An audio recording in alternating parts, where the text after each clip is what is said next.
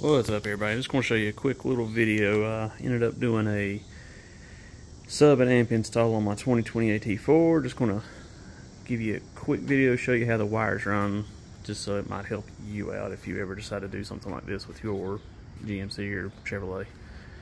Start it up here, wire, and I'm going to show you, you can see there's a little grommet down there you can send the power wire down to, goes through the firewall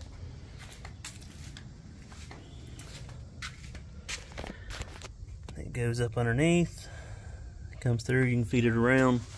You can pull your trim up. You can you can see that you can run the wires through there. Run it through the trim again. You can pull this carpet up and you can run your wiring around back just to kind of hide it a little bit. I haven't got everything completely touched up and cleaned up, but it still turned out pretty clean. I will say this, I used this line output converter because I have the Bose system. I bought this one at Walmart for, I think it was like 21 bucks. It's not bad because it does give you the ability to control the bass without having to go with like an LC2i or anything like that. This will save you about 100 bucks. I have turned it on. It does work.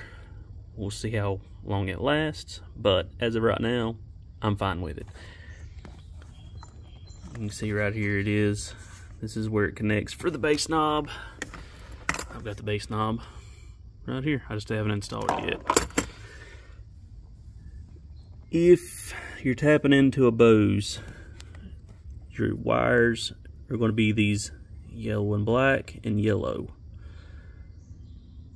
Use a T-tap. That's the easiest way to do this. That way you can tap them in and then just plug your wires in. Make sure you do your, when you're connecting these wires, make sure to do negative with the negative, positive with the positive, and connect it in.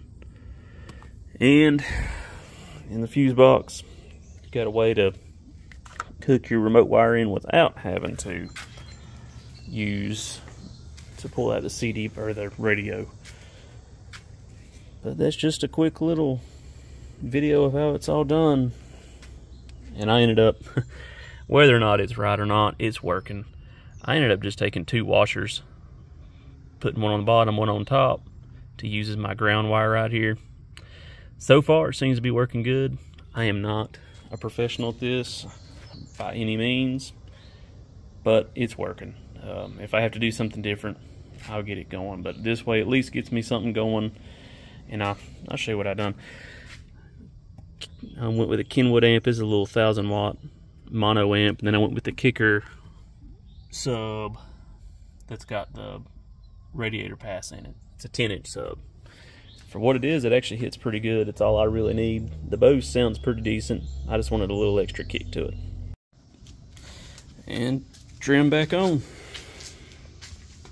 Looks good. Looks like nothing ever happened. I will give you a forewarning this kick panel can be a pain to get off and I had trouble with this bottom pin. So just a heads up when you're pulling these off they are hard to pull off. But anyway other than that wasn't too bad. Have a good one